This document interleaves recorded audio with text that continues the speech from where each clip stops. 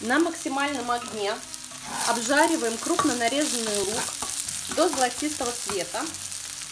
Это минуты 3, наверное, 5 ушло у меня. Добавляем перец. После того, как вы обжарили перец вместе с луком, добавляем чеснок и имбирь, тоже крупно нарезанный. Обжариваем это все вместе около 1-2 минут, пока не пойдет очень такой приятный пряный аромат. Добавляем чили перец по желанию и нашу замороженную смесь. Так овощи мы примерно обжариваем 5 минут. Затем заливаем соевым соусом. Совсем немного, просто чтобы а, овощи впитали весь аромат. Креветки нужно почистить от панциря и вынуть пищевод, который проходит вот здесь. Я оставляю хвостики, потому что этими креветками я буду украшать э, блюдо. У этих креветок мы пищевод удаляем с этой стороны. И э, чтобы креветок казалось больше, я сделаю хитрость и разрежу их пополам.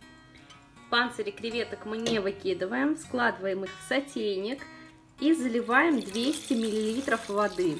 Ставим на огонь и кипятим 5 минут.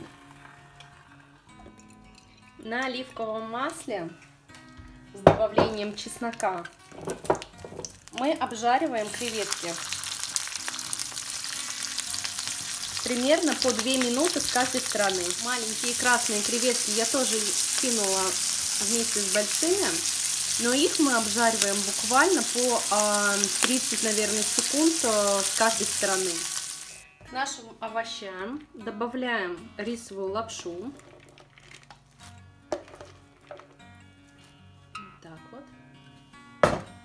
Добавляем соевого соуса, перемешиваем, добавляем наш креветочный бульон.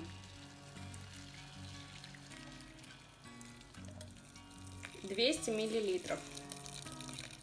Перемешиваем и готовим около двух минут после закипания.